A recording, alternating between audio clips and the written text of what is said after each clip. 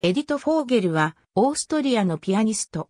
オーストリア・ハンガリー帝国領チェルノビッツに生まれる。リヒャルト・ロベルト・モンカのバリー・レーウに師事する。10歳でウィーンでデビューを飾り、15歳の時からオーストリアの放送局で放送用の録音をこなしている。1938年にナチスによりオーストリアからイギリスへ亡命を余儀なくされた。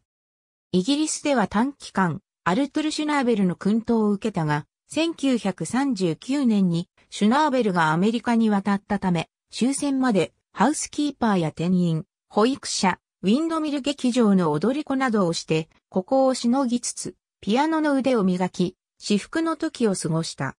1948年からピアニストとしての活動を再開し、イギリス各地でベートーベンやブラームスなどを演目の中心に立てて活躍した。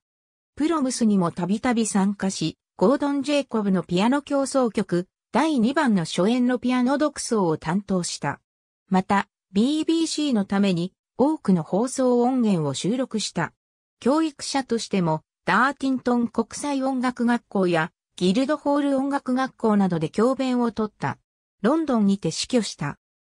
アルフレッド・ローゼンゼワイグ、ジェレミー・バーハム、グスタフ・マーラー、 New Insights into His Life、Times Work、Ashgate Pub、CO、P1、http コロンスラッシュスラッシュ www.bbc.co.uk スラッシュプロムススラッシュアーカイブスラッシュサーチスラッシュ1950スラッシュ